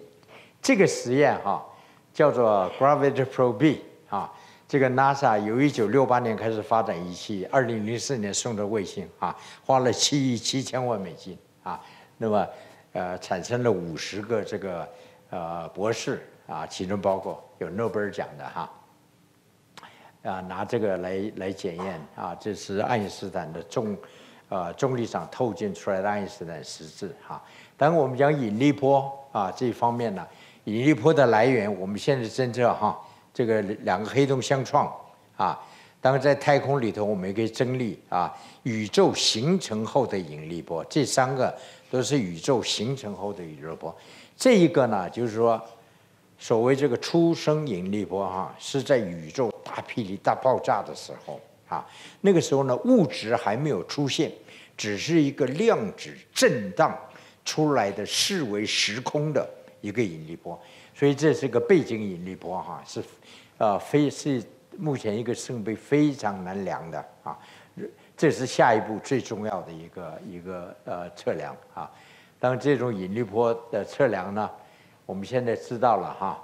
那么用这种这种仪器也是一个呃镭射干涉仪啊，它这个引力波一进来，没有引力波的话，两边的长度一样；一有引力波，它一边变短，一边变长。这边变短，这边变长，它的相位发生变化，那么在这边呢，它的这个光的强度就会发生变化啊，干涉条纹发生变化，你就知道引力波的存在了啊。当这种第一代的引力波呢，很简单啊，由这个一九九九零年开始到二零零二年了，十年以后啊，那么用这个侦测不到，后来就改成四重百啊，这这种这个呢，呃，总共变成四十公斤哈。这一个，他把它用这种方法把它孤立起来哈。这个呢，我认为是人类能够做出来，在全宇宙最孤独的一个个体，它只跟引力波互动啊，因为这个幅度太小了，一个中指的千分之一，十的负十八米啊。当然这样，我这样子把这个放完，我就啊。这个我看要叫它漏的一下，这是就是两个呢，第一个引力波哈，啊，G W 啊，二零一五年九月十四号，一个是二十六个，啊，一个是三十六个太阳质量，一个二十九个太阳质量，这个是物质流动的方向，颜色的东西是时间的改变哈，这个红色呢，时间已经变慢了百分之三十，颜色越深，时间变得越慢。到最后黑的话，就是几乎是黑，呃，这个黑洞的核心呢，时间几乎静止了啊，时间凝结，因为这当时间跟空间互相结合啊，然后这个相相撞的时候，两个合并啊，在衰荡，那么这样子引力波出来，这个引力波，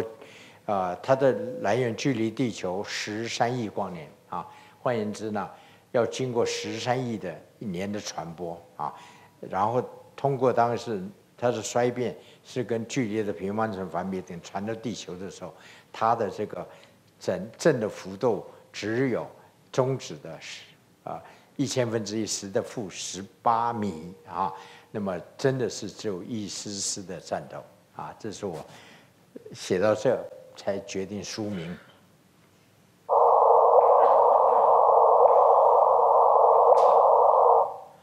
有的时候呢，要听到这么一个声音呢，大概要花二十亿美金左右。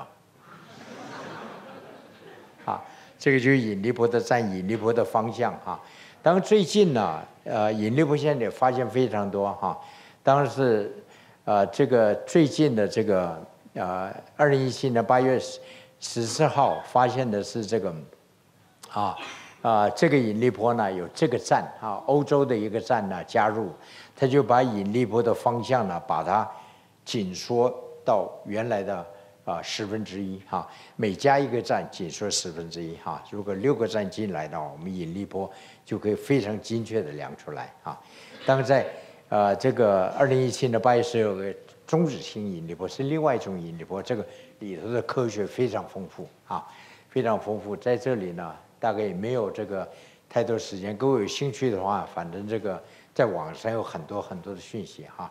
那么引力波二零一七年得的诺贝尔奖，我特别把这个呃 driver 呢列出来，因为他在二零一七年三月不幸啊过世啊，所以呃非常可惜啊。那么 Keep Thorne 呢哈，也是我比较熟的一个非常敬佩的科学家啊。他们两个分二分之一，这个 Yi 分二分之一的二零一七年诺贝尔奖啊。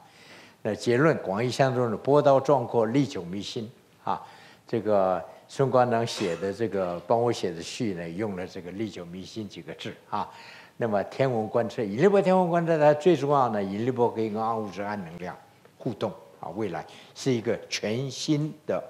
天文观测技术跟窗口啊。这是我在